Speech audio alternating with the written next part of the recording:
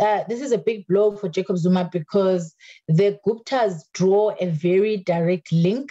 between Jacob Zuma, between Jacob Zuma's son and Jacob Zuma's many children. And if the if the if the Guptas are brought back and there's sexual persecution of the Guptas, it stands then that the person who facilitated their corruption the most, which is Jacob Zuma in his time as the president, would then kind of be facing similar or even worse charges, considering that he had a constitutional mandate to actually protect South Africa from corrupt individuals. And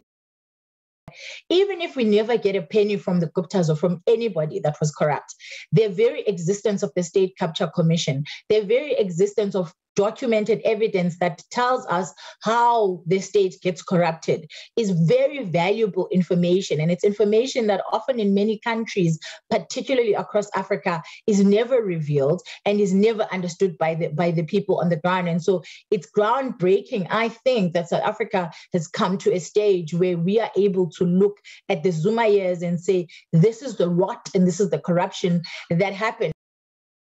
The one thing that that I think it's been very interesting to watch in terms of state capture and in terms of